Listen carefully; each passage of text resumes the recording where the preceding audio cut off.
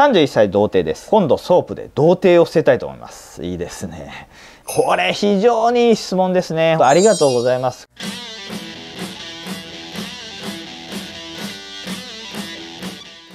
お疲れ様です。真面目社長です。今回はですねまた新しい試みを始めました。やっぱりね今時代の変化がどんどんどんどんねすごいスピードで変化していきますから常にですねこちらもね新しい企画だったりとか試みをして皆さんがより楽しめるような動画っていうのを上げていきたいなと思ってまして今回ですね始めたのが質問箱っていうものなんですよ。質問箱ってご存知ですか？質問箱っていうのは X でですね質問箱っていうのを設置してそこにですね皆さんがいろいろ質問をですねかけるわけなんですよ。それに対して私が答えをまた書き込んでですね X でポストされるっていう仕組みになってるんですね。なんでこれを始めようかって思ったきっかけなんですけどもやはりですね DM とかでもそうなんですけどあとはコメント欄とかで結構ご質問いただくんですよ。このやり取りって有益だなって思うケースがあるんですよね。質問した方も「いやすごいありがとうございます」みたいな感じで感謝されることもあってそれをコメント欄とかだとなかなかね全員が見るわけではなかったりするじゃないですか。皆さんでシェアできることによって全員がですねためになる情報を得られますしより良い風俗遊びだったりとか風俗で働く時の参考になるなと思ったんですよ。だから今回ですね質問箱っていうのを設置しました。質問箱あるからって言ってそこだけに質問してくださいっていうわけではないですからご安心ください。もちろんコメントの方がねやりやすいって人は今まで通り YouTube のコメントでいただいてもちゃんと返信いたしますし DM とかですよね。TikTok、Instagram いろいろありますから全部コメント欄も全て目を通してますから全て自分で返信をさせていただいてますので今まで通りありつつプラスですね X の質問箱に質問していただければちゃんと回答をシェアさせていただきますので質問箱の特色としては匿名で書けるんですよ。ちょっとですね最初抵抗があるとか直接的じゃなくて質問してみたいなって方はよりハードルが下がるというかねお気軽に何でも聞いていただけますんでそういった匿名性というのが質問箱の一つの大きなメリットになると思いますので今まで以上にお気軽に質問していただければと思います。その中からちょっと今もですね解説してまだ数日しか経ってないんですけど数多くの質問をいただいてますんでその中から質問がですね多いものだったりとか皆さんにより有益になるんじゃないかっていう質問から順番にお返しをしていきますのですぐに返せないこともありますのでその辺はご了承ください。で実際の画面がどういうのかっていうとこんな感じになってます。なので、えっと、ここにですねクリックしていただくと入力ができますからそこで質問をしていただいて順次できるものから回答していきますので今日はですね早速皆さんからたくさん質問をいただいてますのでその中からですね回答をしていきたいなと思ってます。皆さんでシェアをしていければと思いますのでよろしくお願いします。はいでは質問を読み上げます。今指名してる子がデリで指名料込み60分2万5000円なんですけどこれって平均的な価格ですか？という質問が来てます。これはですねスタンダードで言うと平均的な価格だと思います。ですのでこれが極端に安いってこともないし高いとも感じませんのでこれは平均的な価格ですね。本指名ってことだと思うんですよね。今指名してる子がいて指名料込みの60分2万5000円なんで無理なく通える価格帯のお店になると思いますのでそのままその子応援してあげていただければいいかなと思います。次の質問ですね。中洲金津園福原小言一番おすすめはこれはですね。僕の本当に個人のおすすめで言うと福原ですかね。福原っていうのがこの中で言うと一番コンセプトが多種多様なんですよ。制服から人妻から。いろんなコンセプトがあるわけなんで自分の好みのコンセプトが見つかりやすいと思いますしあとは気分によってね今日は制服なんだけど年上の人と会いたいなっていう気分ってないですか？そういう方もいらっしゃると思うんですよ。一番幅広い方にコンセプトが揃ってるのが福原になるんですね。価格帯もそんなに高くないですし建物もですねエレベーターついてたりとか綺麗なところも多いですからこの中で言うと僕は一番おすすめできるかなと思います。他の繁華街も素敵な街ばかりなんですけれども一番おすすめだと聞かれたら福原です。はい次ですね。真面目社長的おすすめの大阪のデリ教えてください。本来はですね僕はコンシェルジュをするんであれば価格帯はとかどういう女性が好みだったりとかどういう遊び方をしたいっていうのを聞きたいとこなんですよね。そうするとより的確なお店の提案ができるんですけども単純に僕は大阪のデリどこですかって聞かれた時にそうだな。大手で安心感あるってなるとアインズグループさんとかですかね。店舗数も多いですし価格帯もね高級からスタンダードまで幅広く展開されてますから大きなグループさんでしたらそれなりにですね間違いはないというか大きなグループでじゃあ例えば大々的にぼったくりをしてるとか振り替え店があるっていうことはあんま考えられないじゃないですか。ある程度一定のサービスの水準が保たれてるっていうことになると思うので大阪のデリって言われたらアインズグループさんをお勧めします。質問読み上げます。近所のラブホが汚くて嫌です。都内できれいめなラブホテルおすすめありますか？これはですね TikTok でもやらせていただいたんですけども歌舞伎町でしたら一番おすすめはブレスっていうとこなんですよ。ここはコスパがいいんですよね。安いのに綺麗っていうところなんで一番のおすすめしてる理由なんですけども綺麗っていう観点だけでいくとバリアの系列ですね。バリアの系列も歌舞伎町周辺で10個ぐらいあると思うんですけどあそこもやっぱり綺麗でおしゃれで女子にも評判いいですよね。バリアンの系列とかも雰囲気も良くておすすめです。あとはパシャですね。これは鉄板というか歌舞伎町で一番綺麗なラブホテルって言われてるのがパシャになりますんでお金かかってでも今日は絶対綺麗なところで滞在したいんだっていう方はパシャをおすすめします。歌舞伎町であればおすすめになっております。質問読み上げます。指名の子にガチ恋してます。ガチ恋客ってお店側からしたら迷惑ですか。これはですねお店側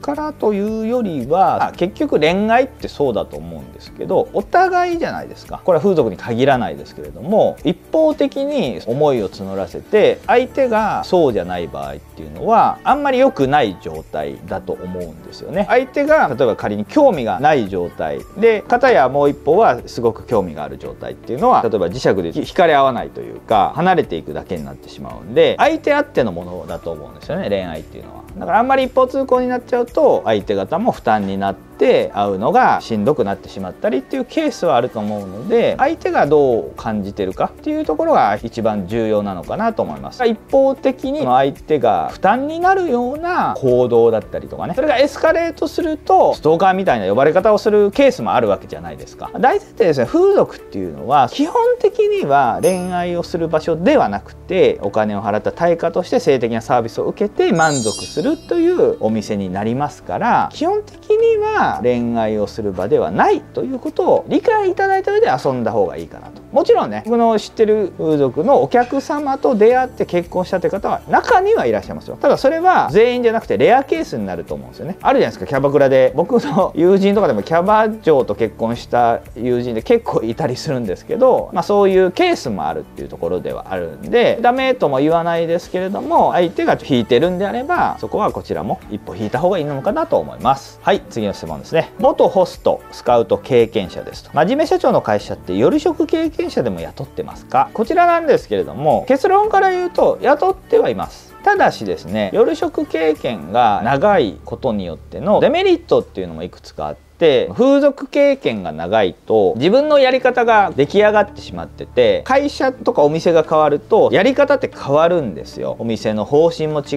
えば価格帯も違うかもしれないし新しいお店のやり方に合わせられない方はお断りしてます。このリスクが経験者の方だと上がるんですよね。素直で謙虚な方。であれば大歓迎ですし経験が長くてそれが身に染みついてしまって指示通りに従えないとか頭が硬い頑固になってる。こういう方は難しいかなと。なんでかっていうとこれはですね今までももちろんそうだったんですけど特に今の時代ですね変化のスピードが速いんですよ5年10年前に俺はこういう感じで成功してたよっていうやり方が今ね通用しないことが多いんですよ。10年前ってスマホも普及してなかったわけですので、まあ、そういう中で集客してたやり方と今の集客のやり方ってまた違ってきますし例えば女性のマネジメントに関しても世代ごとに企業とかでもマネジメントの仕方を変えてるんですよね。そういったところをね日々こうブラッシュアップできる方が成長できる方なんで新しいやり方を取り入れて素直に謙虚に吸収して成長できる方の方がやっぱり結果を出すのでであとは夜食に関して言うとこれはお店とか会社によるんですけれども基本的には給料ベース高いっていうのがこういった業界の魅力なんですけれども長期的に経営が続かないお店とかって給料が本人の出してる結果以上の給料を出してしまってるところが多いんですよ。利益の配分の仕方が間違えてるんでお店は潰れたりとか傾いたりしてるんですね。そこで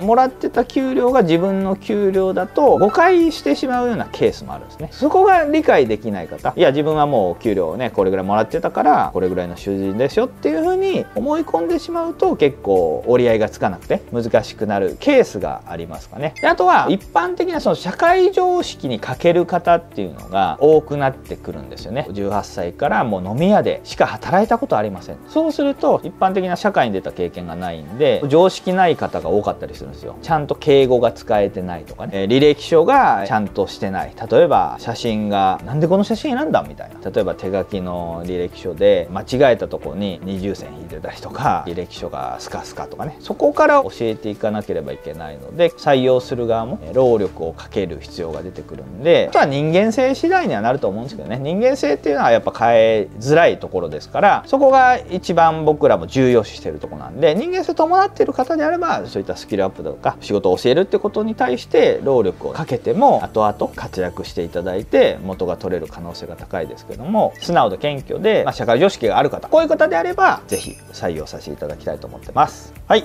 次の質問ですね。31歳童貞です。今度ソープで童貞を捨てたいと思います。いいですね。同卒の場合何時間コースで入るのがおすすめですか？初めてならいくらくらいの価格帯のお店がいいですか？ということですね。これに関してはですねもちろんですね余裕があるんであれば高いお店に行った方が無難だとは思います。あそれが必須ではなくてですねやっぱ予算的に難しいってことであれば僕は大衆店でも全く問題ないと思います。あの女の子選びお店選びさえしっかりすればすごく素敵な思い出にすることはできると思ってますので余裕ががあるんだったらできるだけ高いお店難しいんであれば安いお店っていうのがまず価格帯の回答になります。何時間コースがいいかっていうところなんですが何回戦もやるっていうことはあんまり考えなくていいのかなと思うのでその1回っていうのが結構ね童貞の価値というか体験になるわけですからこれは別に僕は短くてもいいのかなと思います。もともとソープランドっていうのはあんまりショートコースって少ないんですよ。60分以上が多いので60分以上あれば、えー、僕は何分でもいいのかなと思います。次の質問です。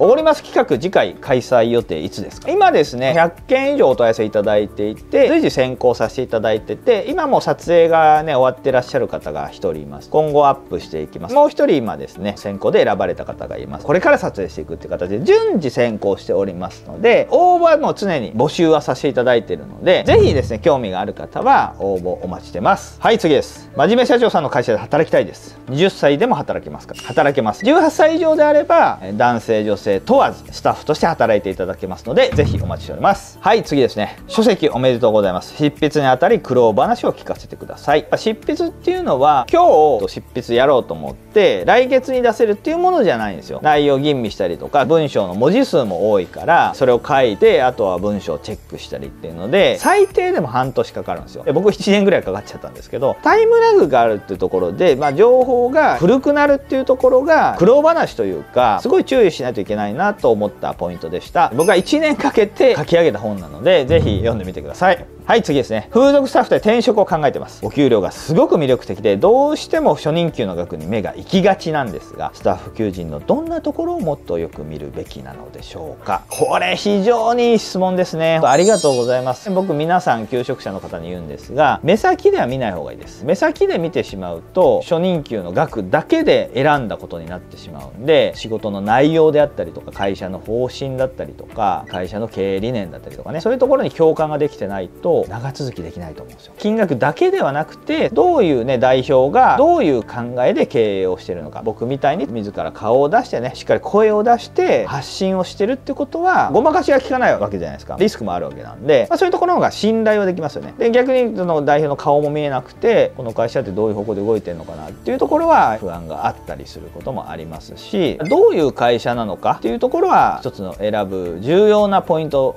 になると思います。あとは給料が最初だけ高くて上がらなかったら長い目で見たら良くないわけなんですね。逆に最初が低くても上がるんであればそっちの方がいいと思うんですよね。どういう給料体系でどういう評価をしていただけるのかっていうところも見るべきだと思います。はい次ですね。デリヘルで遊んだことはありますがソープは未経験です。ソープで遊ぶ時のお店選びでアドバイスをください。デリヘルで遊んだことはあるってことなんでデリヘルももですね風俗サイトで選ぶと思うのでソープも同じですよね。現地に行って店頭で写真を選ぶっていうよりは僕も風俗サイトで事前予約をしていただくのがベストだと思うんでこれはデリと変わらないです。自分の好みのコンセプトだったりとか年齢層とかあとはソープの場合ですね明確にですね大衆店中級店高級店って3つに分かれてるんですよ。ご自身の予算に合ったお店で遊ぶっていうのがまず一つ。特に高級店とか中級店になると風俗サイトの表記で入浴料っていう表記があるんですよ。大衆店はね比較的総額料金になってるんで2万円って書いてたら2万円だなっていうのが分かるんですけど高級店は特に総額料金が載ってないことが多いんですよ。年齢の表記のとこに総額って書いてるか入浴料って書いてるかをしっかりチェックしてください。入浴料って書いてるところは入浴料が例えば2万円だったら2万円では遊べないんですよ。2.5倍から3倍ぐらいなんで56万ぐらいになるんですよ総額が。入浴料の場合は本当注意してください。はい。今回はですね YouTube の動画でですね質問を変えさせていただいたんですけれども今後はですね X の質問箱の方でお気軽に入れていただければ返せるものから順次回答させていただきまして共有させていただきますので何でもこのようにお気軽に聞いてください。風俗利用に関することでもいいし風俗で働くことに興味があるとか風俗経営のこととかね。あとは僕自身の SNS に関すること。何でもお答えさせていただきますので是非皆様からのですねご質問お待ちしております。この動画を見てですね面白かったためになったって方は高評価チャンネル登録を是非よろしくお願いいたします。それでは